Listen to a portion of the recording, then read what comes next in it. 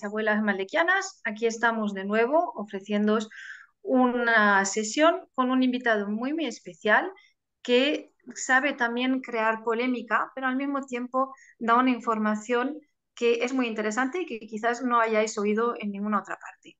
Estoy hablando de Arlequín, que nos hace el honor de estar con nosotras hoy. Hola Arlequín, ¿cómo estás? Hola, ¿qué tal Laura? Hola a todos.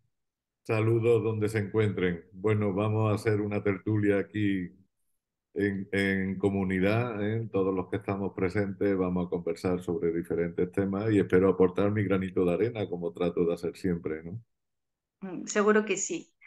Antes de empezar la ronda de preguntas, mm, nos gustaría, como hacemos siempre, sincronizarnos con el tiempo del cosmos. Esta sincronización es del día en que se está grabando esta, esta emisión. Entonces, hoy es Silio 21 de la tercera heptada de la luna eléctrica del venado, del anillo solar del mago entonado blanco y la energía que entra hoy es el KIN 250, que es perro eléctrico blanco. Al ser la luna eléctrica y el perro también eléctrico, decimos que hoy es un día tortuga mágica. La unidad psicocrono del día de hoy es 54, mago lunar blanco. Como hoy es día silio y que activa el corazón y el perro también activa el corazón, tenemos la energía del corazón doblemente activa. Así que para empezar querría presentar a los que no conocen todavía a Arlequín y mm, podríamos decir de él que es miembro de programas clasificados de viajes en el tiempo, 20 and Black, Avatar y Pegasus además de ser un divulgador de información que podemos encontrar en varios canales en YouTube. Está muy presente en el canal para compartir y también lo podemos encontrar en Arlequín Game Over. Entonces vamos a empezar con esta ronda de, preguntas y cedo la palabra a Tony. Y si yo veo al el sexo como algo de explosión y a la vez lo quiero ver como que si estoy ascendiendo, estoy en ese, en ese punto cero. Eh, ¿Cómo podrías eh, como llevarnos para, para vivir esa sexualidad, tanto de ascensión como de, explosión? Bueno, yo pienso que van unidas, ¿no? Eh, el hecho de que haya una explosión en el orgasmo o, en ese cañonazo de energía que podría ser el orgasmo, eh, no quiere decir que te estés saliendo del punto cero. O sea, el, punto cero es un estado de, la fuente, el, el, estado neutro que es el estado divino, el estado de la divinidad. Ahora, dentro de la divinidad puede suceder todo y de hecho sucede todo cada día dentro de la divinidad, ¿no? Entonces, tan divino es un orgasmo como una hora de meditación. O sea, no quiere decir que porque estés una hora meditando te mantiene en, punto cero y si tienes un orgasmo, pues te sales del punto cero. O sea, tanto eh, la subida de, de, la euforia, digamos, como la karma de la meditación, los dos están dentro de lo divino. O sea, no, no te estás saliendo de lo divino porque estés teniendo un, un orgasmo lo que yo sí veo más fácil es salirse de lo divino. O sea, más que salirse de, lo, del punto cero, para mí lo importante del tema sería en qué momento cuando haces sexo te estás saliendo de lo divino. Porque mientras que hagas sexo sagrado y te respete a ti mismo y estés respetando a la persona con la que estás haciendo sexo, estarás haciendo sexo sagrado.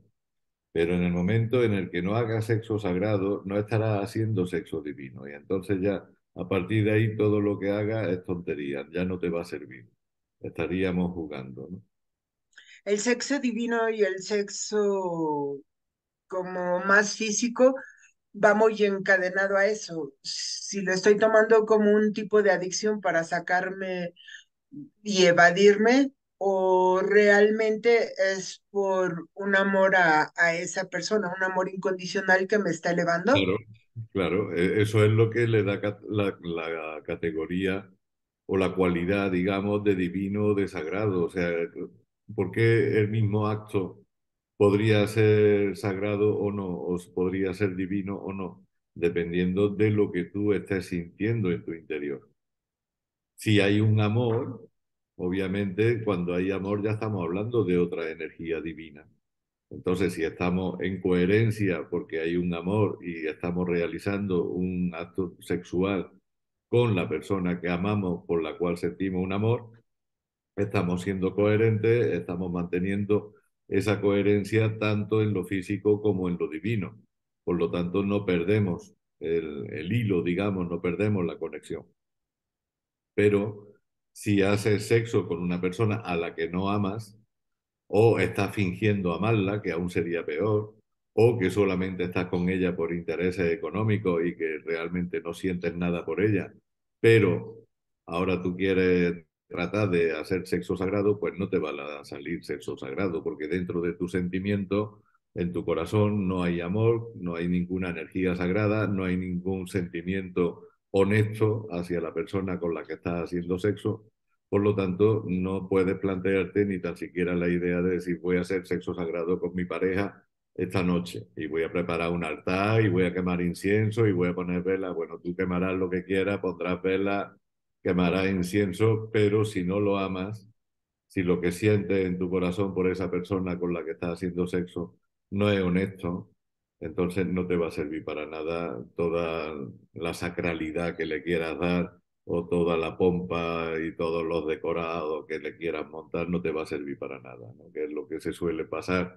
cuando las cosas se toman de modo superficial o de modo relativa, ¿no? porque aquí como vivimos ya en un mundo en el que todo es relativo, ya se relativizó el amor, bueno, ya se ha relativizado también hasta el género de las personas, ¿no? Ahora ya tú estás viendo a un señor y no le puedes decir señor porque él te dice que es señora y le tiene que pedir hasta disculpas, ¿no? Y decir, ay, perdón me he equivocado yo, perdón. Entonces, claro, estamos ya en un mundo en el que todo se está eh, relativizando de tal manera que es lo que conlleva la falta de respeto a lo sagrado. Y creo que eso es lo que está sucediendo, que cada día hay más falta de respeto hacia lo sagrado hasta el punto de que nos olvidamos de qué es la energía sexual, ¿no? Cuando la energía sexual no es ni más ni menos que la energía creadora y tenemos que ser muy conscientes de qué es lo que queremos crear. Entonces, si la energía mm, sexual es la energía creadora, es una energía primordial, digamos, y de las más importantes junto con el amor, ¿no? Pero sí es una energía que tiene un poder que mueve hasta el punto de crear. Entonces hay que darle el honor, hay que darle el respeto, hay que darle eh, esa sacralidad que se merece. O sea, deberíamos de tratar la sexualidad con mucho más respeto de lo que se está haciendo y la vida no iría mejor. Porque claro, también junto con la sexualidad que no se respeta, también empezamos ya a cometer errores mucho más graves, que es ya engendrar hijos que se están engendrando desde una sexualidad ya que no es sagrada, por lo tanto, tampoco el hijo va a ser sagrado. Tampoco queramos ahora comer mierda, o sea, no, no queramos ahora hacer sexualidad mundana y que nuestro hijo no sea mundano. Va a ser nuestro, el engendro, lo que se engendró ahí en ese acto sexual sin amor, no va a ser ese hijo fruto del amor. O sea, no, queramos confundir ahora las cosas. ¿eh? Ahora el hijo no va a ser fruto del amor y no lo será por más que tú después como madre o como padre lo quieras decir o decírselo y quedar, decirle lo que quiera oír tu hijo, pero si tú no lo sentías en tu corazón, el amor que tenías que sentir cuando estabas engendrando a ese hijo, pues no existía ese amor. Y si no existía, nunca va a venir ese hijo después del amor porque no existía el amor. Podrá venir del amor, obviamente, de la fuente, porque todos somos hijos del amor y todo ser que nace, obviamente, es hijo del amor y será hijo del amor de la fuente y de la creación. Pero lo, que nunca podrá ser es hijo del amor que su progenitor no tenía en su corazón. ¿eh? Entonces, no, no queramos rizar los rizos más de la cuenta. También hablé un tema muy interesante con esto de los hijos y de las relaciones, de qué sucede con el espermatozoide que ha hecho el camino, ¿no? Porque ahora nos encontramos en una situación de espermatozoide. Ahora vamos a tener... Esta es una situación embarazosa en la que se encuentra el mundo, ¿no? Y claro, pues en las situaciones embarazosas se buscan soluciones anticonceptivas. Y ahora,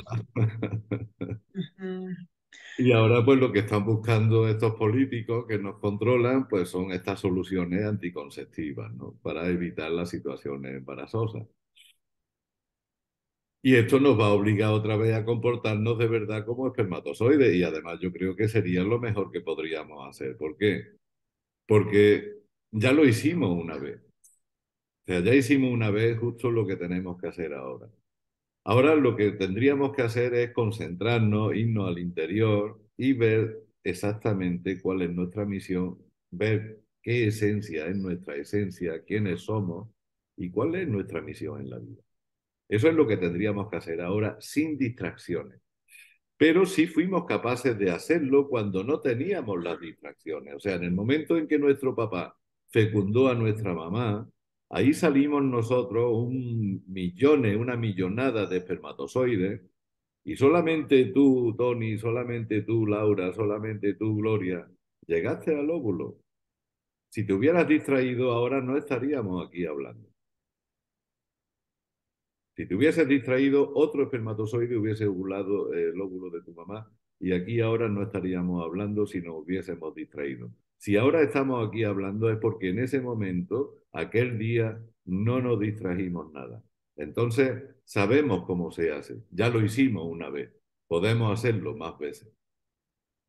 Dentro de los estudios de la ley del tiempo y el orden sincrónico de los mayas galácticos, se establece que la realidad es un holograma. Y este holograma, la manera más general que lo explican es como si fuera un proyector que sale del núcleo de la galaxia que llamamos Hunaku, pasa por el Sol y del Sol lo recibimos aquí en la Tierra. Tú hablas de un simulador. Si nos podrías explicar un poquito si es algo parecido a ese postulado o, cómo sería eso del simulador y dentro de, ese simulador, cuál sería el papel del sexo y la sexualidad. Eh, estamos hablando exactamente de lo mismo, ¿no? O sea, el simulador es ese holograma al que hace referencia estas tradiciones de las que me estaba hablando, ¿verdad? Y sí, es un holograma, totalmente cierto. Y precisamente porque la realidad es un holograma, es por lo que se está diciendo, y yo también lo estoy diciendo, de que todo esto es un simulador. ¿eh? Es un simulador porque es, una simulación creada de forma holográfica. Esto es un simulador que lo que crea es una holografía de vida y creemos que estamos viviendo en la vida cuando en realidad lo que estamos es sobre la vida. O sea, aquí estaría la tierra verdadera, también, eh, si has escuchado la teoría de Platón y muchas historias que se han hablado ya acerca de la sombra, ¿no? Tú me has dicho que en tu cultura se ve la, realidad como un holograma, pero Platón lo veía también como la sombra de la realidad, ¿no? O sea, vivimos en lo que sería la sombra de la realidad o en un holograma de la realidad. ¿Eso qué significa? Eso significa que aquí está la tierra real, donde todavía están los árboles de silicio, donde todavía están los árboles madre, la realidad, esto sería la realidad, pero encima de la realidad se superpone el holograma. ¿Se me ve y se me oye? Bien, entonces el holograma se queda encima de la realidad y esto sería una proyección que sale del interior de la Tierra. En el interior de la Tierra es donde está el Sol negro, que sería ese proyector holográfico al que se refieren los abuelos. Y desde ese eh, Sol holográfico se proyecta, o sea, desde ese Sol eh, interno, desde ese Sol negro, se proyecta la holografía que sale por el hueco que hay en el Polo Norte y se proyecta en todo lo que es la bóveda o el domo o la cúpula, llámalo como quiera, que es lo que cubre esta falsa tierra, este holograma en el que vivimos. El holograma se está creando de forma artificial sobre la verdadera tierra. Ninguna raza hubiera permitido que a la verdadera tierra se le hiciese daño o se la contaminase o se le cortase los árboles. ¿eh? Hay muchas razas que están a cargo de todo esto que está sucediendo y se creó precisamente este simulador para no hacer daño a la realidad.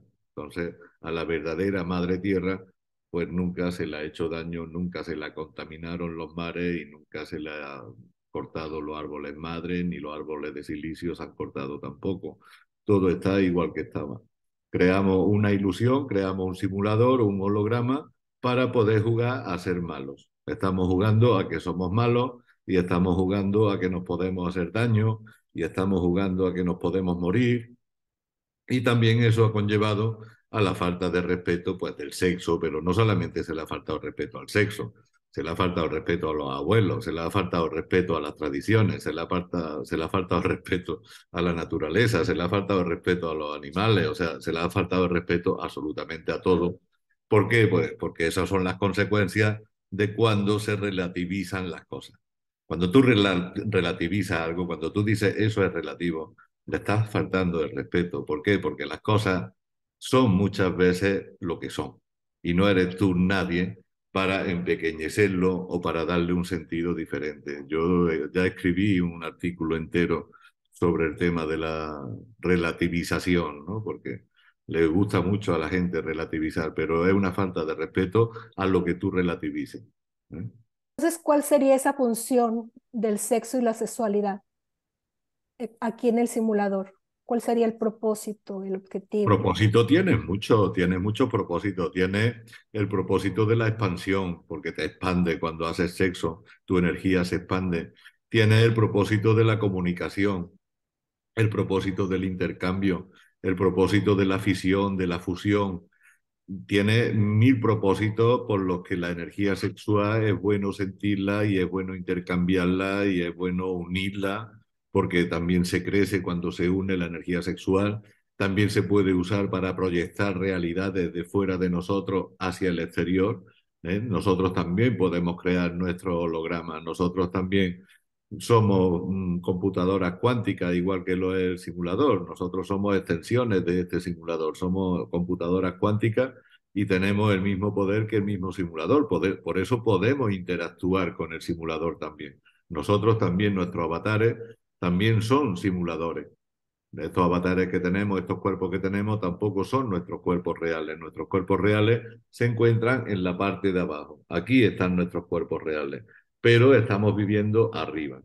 Entonces, abajo, los cuerpos reales nuestros están suspendidos, estamos conectados, con, más o menos como se ve en Matrix, solo que estamos conectados sin cables, y es como nos conectan a esta falsa realidad, a este holograma que se encuentra arriba de lo que es real.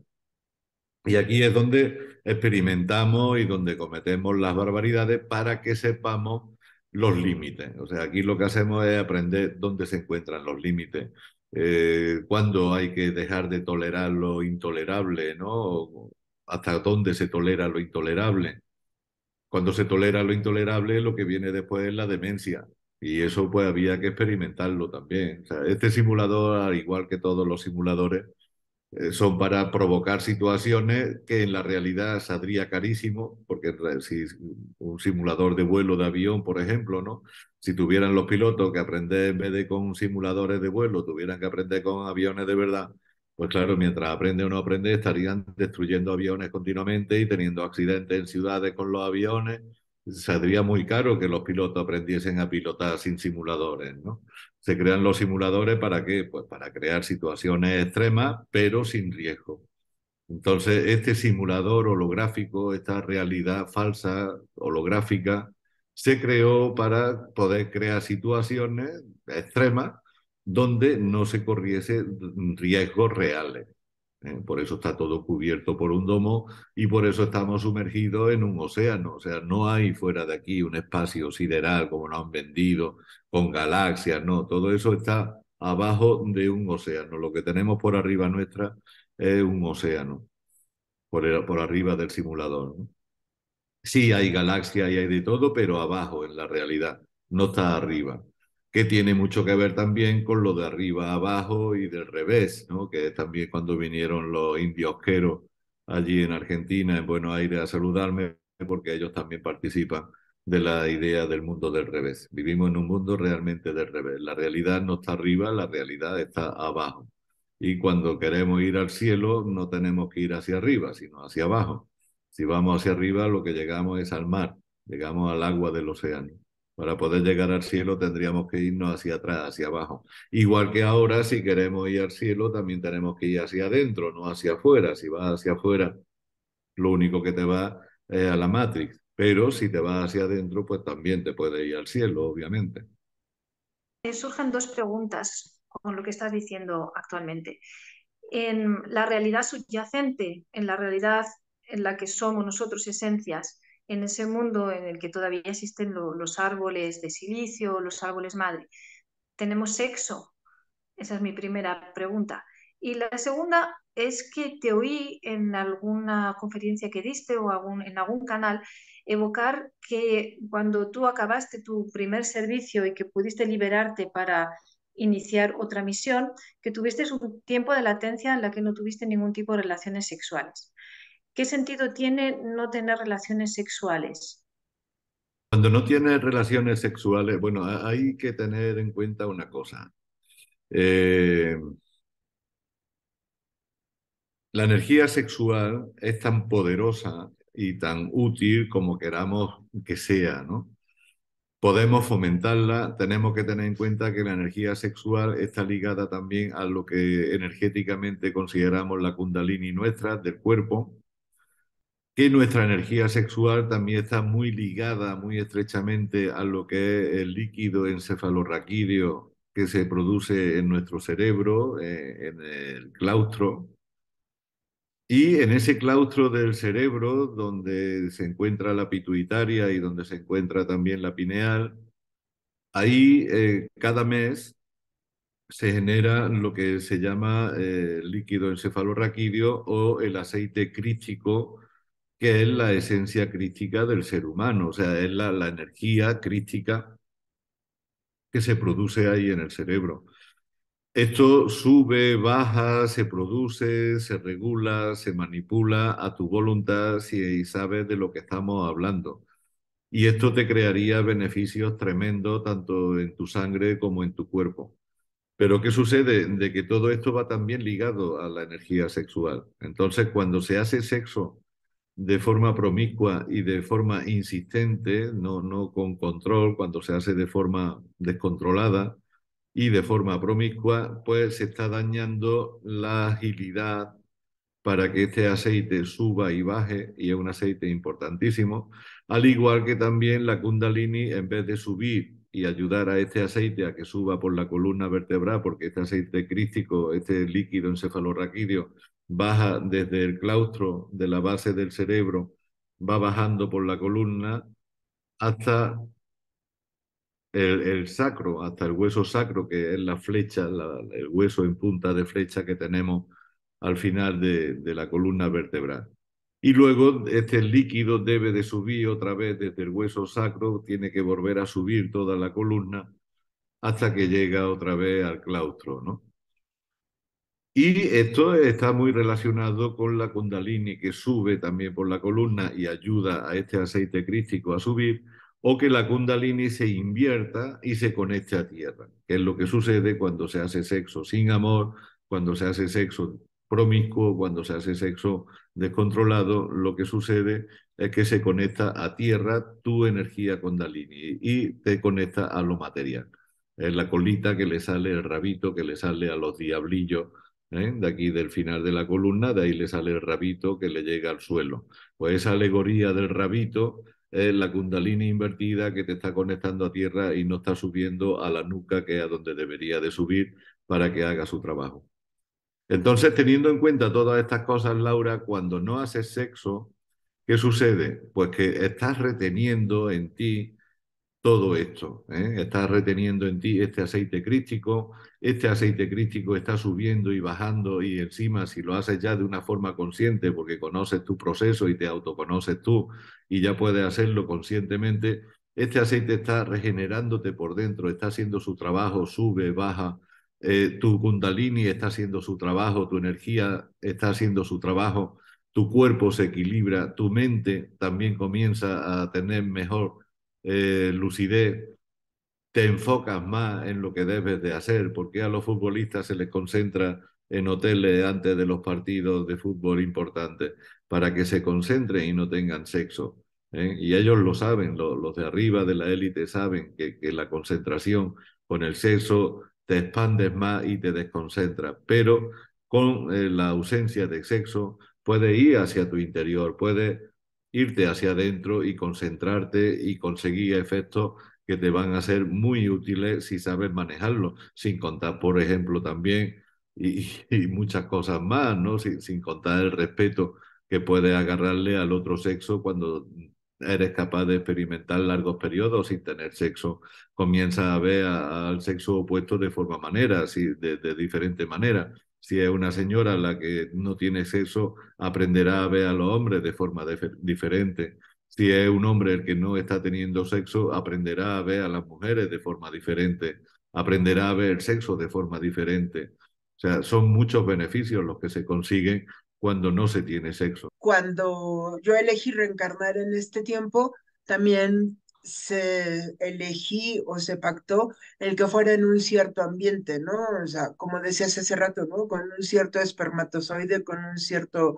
óvulo, que si no, o sea, si no hubo, si no me enfoqué en ello, o sea, tal vez no se dé. Entonces, como que tampoco mi misión se va a dar. Es que ah, hemos vuelto a tocar el tema, gracias Tony, porque ¿qué sucede cuando un espermatozoide es fecundado in vitro o de manera artificial?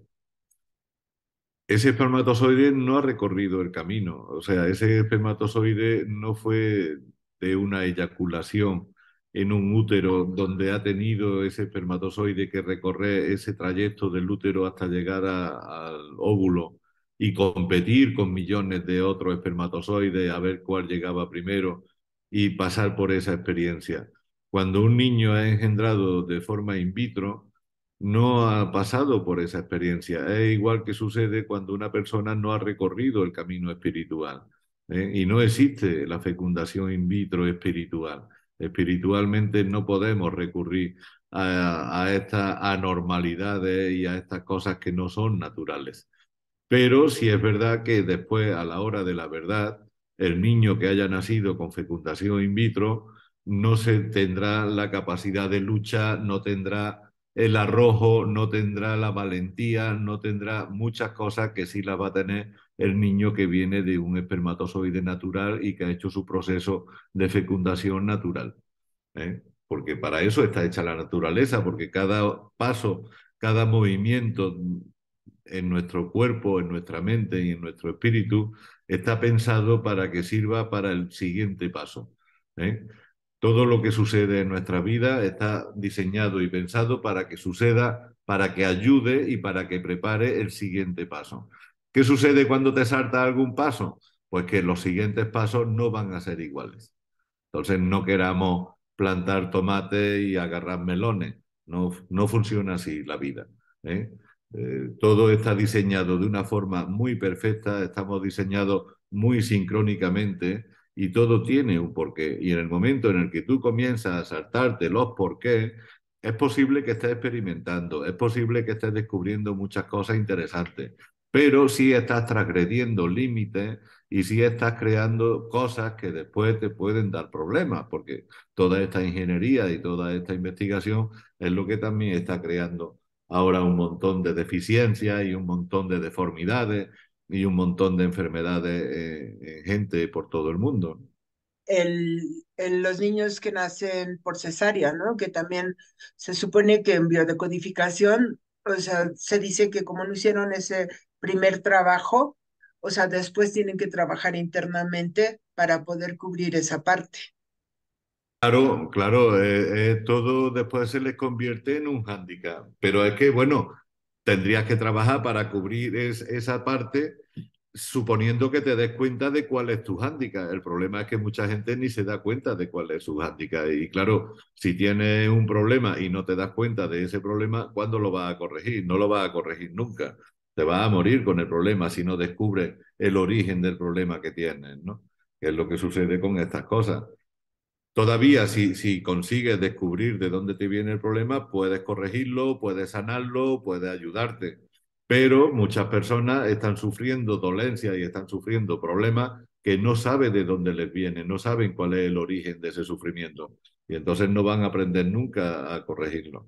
Arlequín, eh, mencionaste que parte del estar en un simulador es para un aprendizaje, Para de alguna manera, digamos, tener conciencia del por qué hacer o del por qué no hacer.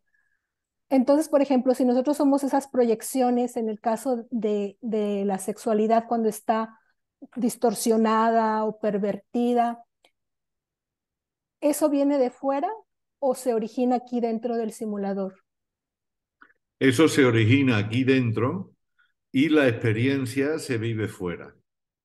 ¿Eh? La experiencia la vives tú y la vive tu yo superior también, que está fuera del simulador. Pero ese, esa distorsión, eh, o sea, lo que genera ese acto distorsionado, se genera aquí dentro, no se, no se genera la distorsión fuera. Manera parte de la experimentación cuando es algo que no es, digamos, eh, no quiero decir correcto, bueno, malo. Es algo que no se ha vivido, entonces es parte de la experimentación para entender el por qué se puede hacer algo, por qué no. Exactamente. Piensa una cosa, fuera de aquí, de este simulador, en nuestros lugares de, origen, en nuestros hogares, porque pertenecemos a diferentes orígenes y a diferentes lugares, pero en nuestros lugares eh, de origen ya hay muchas generaciones que nunca conocieron la guerra, que nunca conocieron el odio, que nunca conocieron la mentira. Y cuando estas generaciones crecen y quieren conocer estas cosas, pues si no hay un simulador como este para aprenderlo, no puedes explicárselo, porque no puedes explicarle a un ciego de nacimiento qué es el color verde. Él no sabe lo que son los colores, entonces no tienes palabra para explicarle a un ciego de nacimiento qué son los colores o qué es el color verde.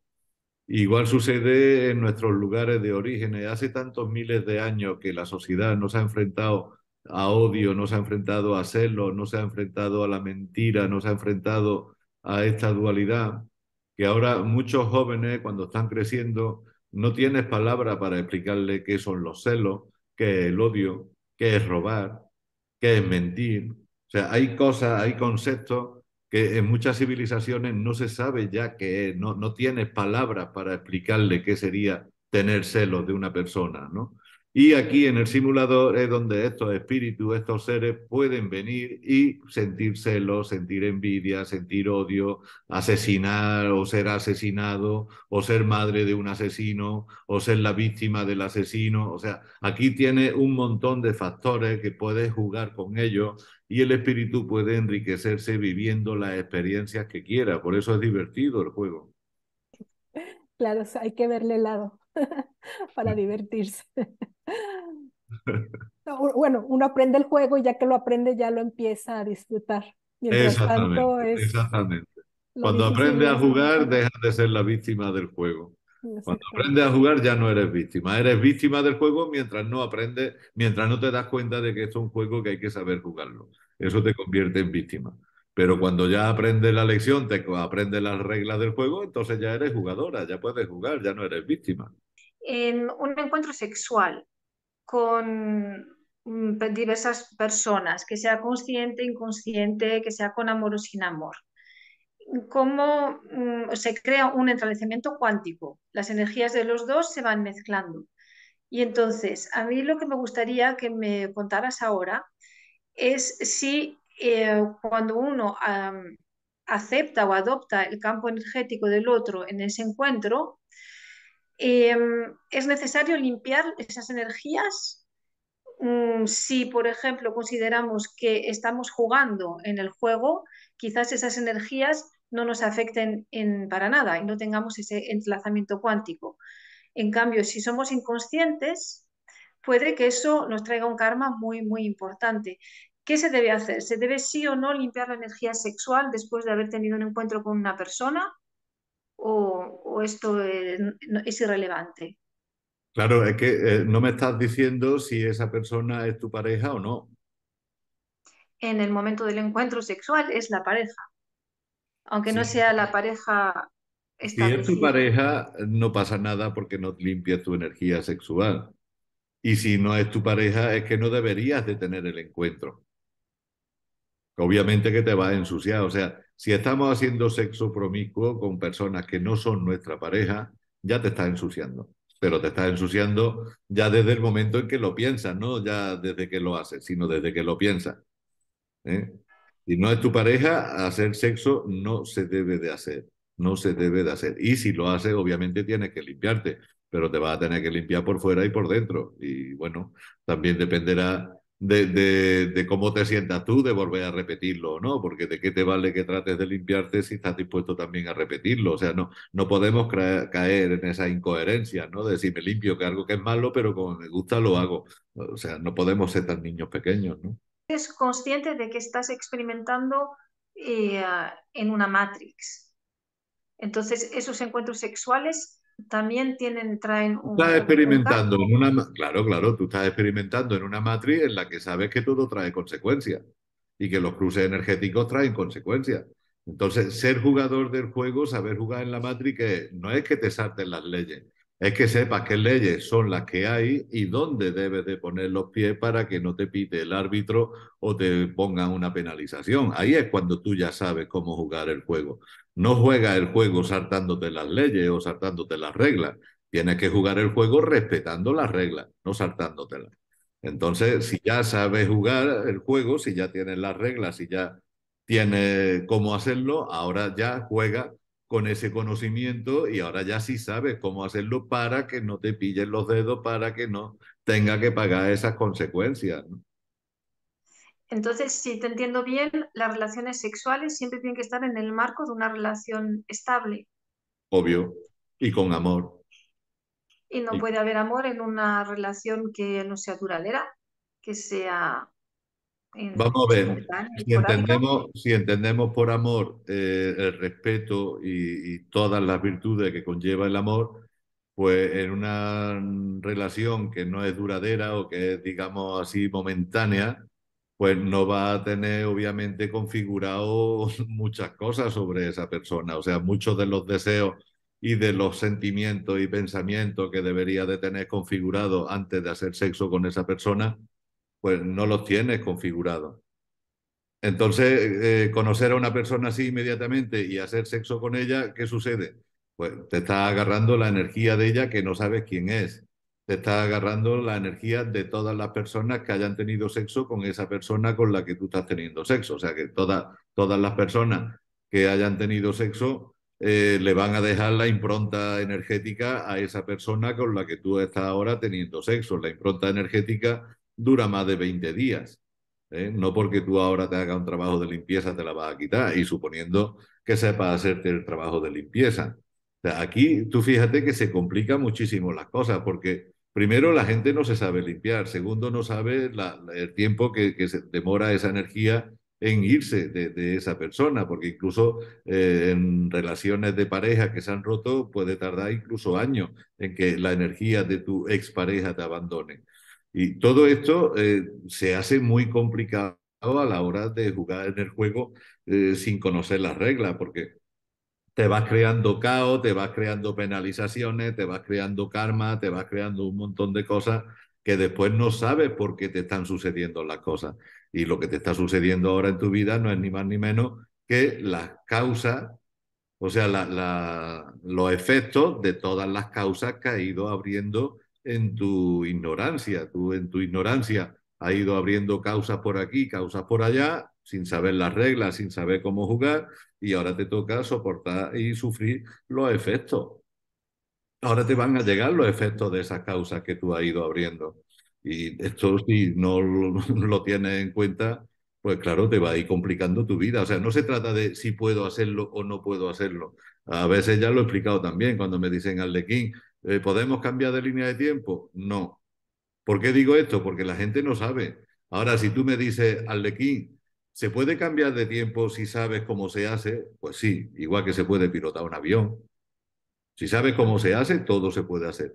Pero si no sabes cómo se hace, si hablamos en términos generales, si hablamos de que la gente pudiera cambiar la línea de tiempo, no saben cómo se hace. La gente no puede cambiarla.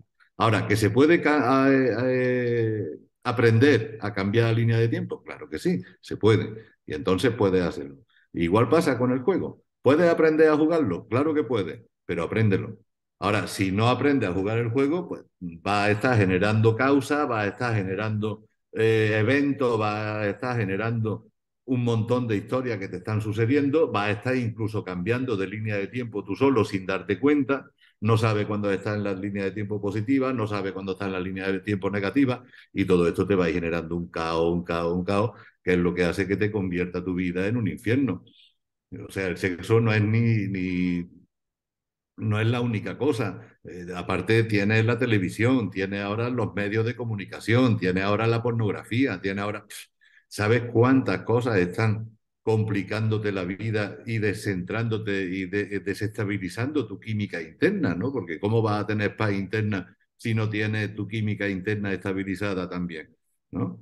Y la química, que la química es el resultado de las emociones. Si quieres estabilizar la, la química, tienes que estabilizar las emociones. Para eso tienes que tener la mente clara también. Entonces tienes que tener todo eso muy en cuenta para saber con quién tienes relaciones, con quién no tienes relaciones, qué conversaciones son las que estás escuchando, qué personas son las que estás teniendo relaciones, qué personas son con las que estás. Todo esto tienes que tenerlo en cuenta. Eso es saber jugar. O sea, saber jugar no es hacer lo que quieras. Saber jugar es saber lo que puede hacer, lo que no puede hacer y respetarlo también. ¿Podrías darnos algunos tips de cómo limpiar esas energías? La agua salada es muy buena, el agua salada del mar es muy buena para limpiar y la luz del sol también, ¿no? Además ahí estamos con los legítimos, ahí estamos con Padre Sol y con Madre Tierra. Y por supuesto, pues limpiarnos a nivel energético, o sea, limpiarnos interiormente nosotros. Eh, ya te digo, lo que no se debe de hacer no hay que hacerlo. Entonces, eh, si se ha hecho mm, porque no lo hemos pensado bien o hemos cometido el error, ok, vale, pues hemos cometido el error, pero por lo menos tengamos la, honestidad de reconocerlo como error. ¿eh? Y si lo estamos reconociendo como error, pues tengamos también nuestro empeño en modificarlo, ¿no? En, no querer estar cometiendo ese error continuamente. O sea, no se trata de que cometamos el error el fin de semana para después limpiarnos a partir del lunes. No, no tiene sentido, ¿no? Me gustaría que, como hacemos siempre, que nos hablaras un poquito de qué es lo que estás haciendo, dónde estás y dónde te podemos encontrar, cuál es tu actualidad. Si brevemente. Bueno, pues me, estoy ahora en México, estoy haciendo gira, estoy yéndome a Cancún, ahora me voy a Mérida también el 21 y el 22, que tengo talleres también en la Universidad Modelo de Mérida el fin de semana siguiente. Y bueno, me pueden encontrar también pues, por, por Telegram, en Arlequín We Are One, en Arlequín Game Over, es, mi canal de YouTube. Game Over, Arlequín Game Over es mi canal de YouTube donde cuelgo todos mis vídeos. Y eh, Arlequín We Are One es mi canal de Telegram, que ahí también pongo información y me pueden localizar, ¿no? Y bueno, también voy para Chihuahua, ahora al norte, Voy a estar en Ciudad Juárez también, con Venadito, el 28 y el 29, y el 4 y el 5. Voy a estar en Chihuahua y en Ciudad Juárez con Venadito. Y preparando, preparando todo esto y dando el mensaje a la gente y, bueno, compartiendo con la gente. Muy bien, muy bien. La verdad que, que, por lo menos uno se mueve y contacta con gente, conoce gente diferente, te comunica. Me está gustando la experiencia y estamos encantadas de haberte recibido. No te vamos a retener más tiempo porque sabemos que el tiempo, nosotros decimos que el tiempo es arte, pero en esta realidad el tiempo también es oro. Y me imagino que tienes muchas cosas que hacer. Yo te agradezco desde el corazón toda la información que nos has dado y el tiempo que nos has acordado.